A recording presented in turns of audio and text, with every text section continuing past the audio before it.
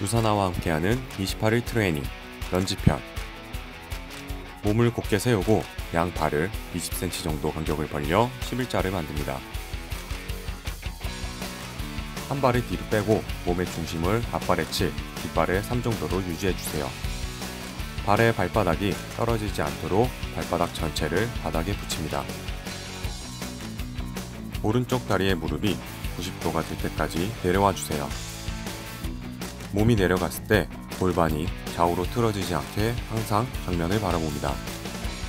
오른쪽 엉덩이와 허벅지에 힘을 주며 위로 올라와 주세요. 한쪽 다리당 10번 반복 후 다리를 바꿔주시면 됩니다. 반대쪽 다리도 동일하게 반복해 주세요.